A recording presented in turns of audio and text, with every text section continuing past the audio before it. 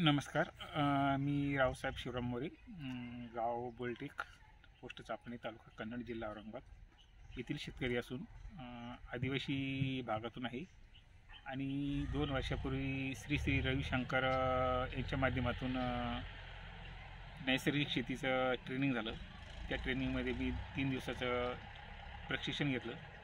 व त्या प्रशिक्षणातून मला असं जाणवलं की त्यांनी खूप छानपैकी आम्हाला माहिती दिली की विषमुक्त अन्न कसं आज खालावलेले जीवन कसं आजार कशी यातून आपण बाहेर पडायचं कसं की त्याच्यातून मला एक मार्गदर्शन मिळालं. आणि याच्यातून म्हणजे नैसर्गिक शेती करण्यासाठी मला आजी आधी मी मेथीची भाजी घरच्यापुरता भाजीपाला आजी आधी मार्केटिंगला आमचा माल औरंगाबादसारख्या ठिकाणी आम्ही हा विषमुक्त भाजीपाला पाठवतो आहे चार पाच शेतकऱ्यांचा आमचा ग्रुप आहे. आणि यातून आम्हाला याच्यासाठी मार्गदर्शन जर मॉलच मिळालं असेल तर ते श्री श्री रविशंकर यांची टीम तसेच अ, आटेगाव खेडा येथील कृषीभूषण श्री अजयजी जाधव यांचं खूप मोलाचं मार्गदर्शन आम्हाला यासाठी स आधारभूत ठरलेलं आहे. मार्गदर्शन आणि त्यांच्या मार्गदर्शनाखालीच आम्ही खऱ्या अर्थानं म्हणजे एक आत्मविश्वास वाढला की खरोखर नैसर्गिक शेतीची काळाची किती गरज आहे.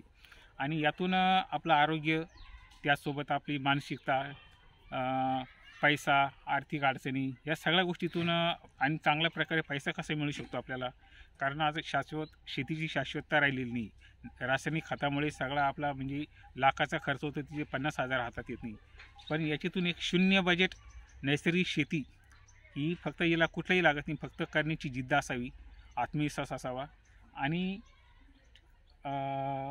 तर धरणी माता आपल्याला विषमुक्त अन्न देईल व त्यातूनच आपलं आपण विषमुक्त होऊ.